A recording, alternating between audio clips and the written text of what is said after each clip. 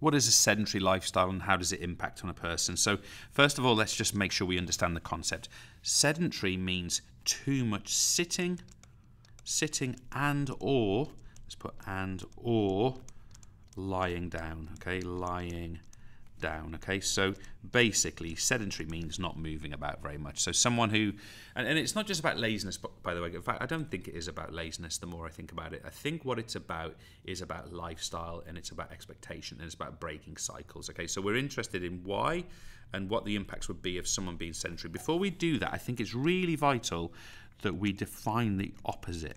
All right, so what is it to be active? Well, if we think about uh, small people, children, Okay, I think you guys would be much closer to the adult bracket at this point. But for children, active means seven times a week doing 60 minutes of activity, with at least one of those sessions being higher activity or higher intensity. And for adults, we are talking, put an L in that'd help.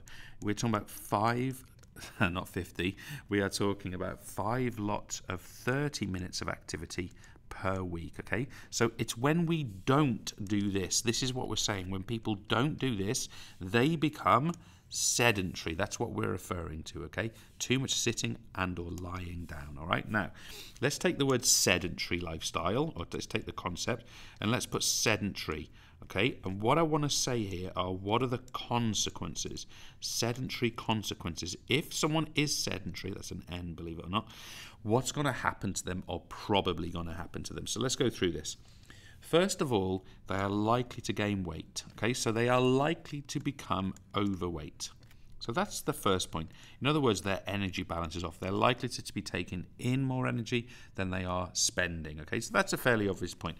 We also want to consider that they would become over fat. Okay, and it's a term that I'll put in inverted commas. The proportion of their body which would be fat would increase as a result of this. as a result of both of these points, this person could over time wouldn't happen overnight by the way but this person could experience obesity and be reminded obesity is a bmi reading of over 30 over 25 is overweight, we've got that here, but obesity is over 30. You might also be aware um, that over 35 BMI can, can actually be considered morbid obesity, okay, or morbidly obese. Now, that can actually have serious implications for health and should be dramatically avoided. Um, but, but people get large. I mean, it, it happens, right? You're probably aware of it. You've probably, you know, you've probably seen or experienced this to some degree.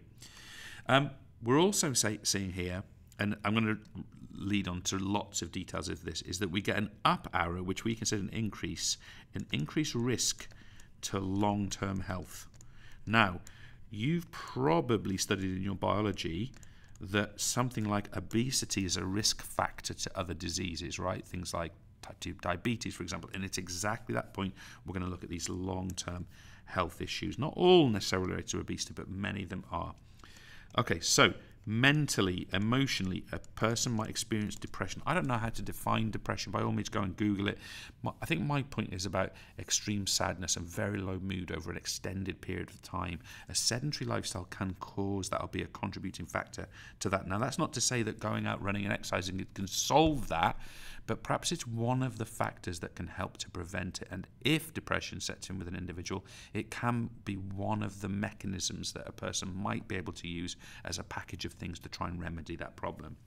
Um, a person will have a greater risk for CHD. Remind yourself, this is coronary of the heart heart disease. Okay, so just to be clear what we mean here, these are the blood vessels leading to the heart itself, the ox- to, ox- to deliver oxygenated blood. They become blocked, clotted, they become plaque deposited, and that can lead to coronary heart disease, things like angina and pain in the chest. It's pretty nasty old stuff, really. Let's keep going.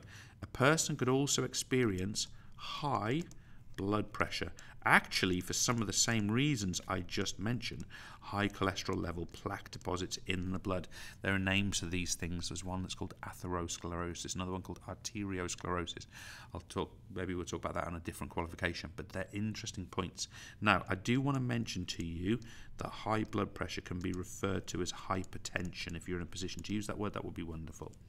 Now, let's go a bit further. I mentioned diabetes before. Lifestyle. And we're not talking about diabetes that someone is you know genetically predetermined to potentially. That would be type 1 diabetes. We are talking about diabetes as type 2 diabetes type 2 diabetes okay? Type 2 diabetes. This is often one of the risk factors mentioned before is obesity okay? So we need to be careful with that one. I want to mention to you i think this blue might be, oh that's a nice blue. I'm happy with that. I thought it was going to be too dark. Oh it is a bit dark.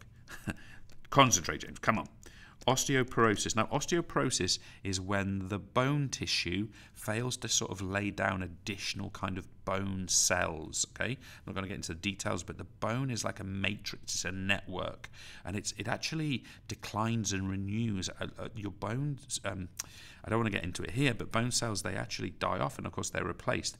Now, if that replacement is slow, then the person can experience what we might refer to as brittle bones brittle bones or osteoporosis, okay? And of course, that can be really problematic for a person. Nearly there. Next consequence the person will experience decreased down arrow muscle tone. Okay, this to have impact for things like back posture and pain in the back and a weak core. And finally, guys, I want to just mention that on the performance side of this, I don't really haven't really left myself much room here, but sedentary lifestyle can have an impact on components of fitness. I'm just going to put on COF, things like agility, flexibility, things like muscular endurance. They're going to decline because of being sedentary. Now, of course, you can refer to that as untraining or de-adaptation. It's reversing, it's reversibility. We've looked at these principles elsewhere, but these are the consequences of sedentary lifestyle, and therefore being active is a good thing to do with one's life.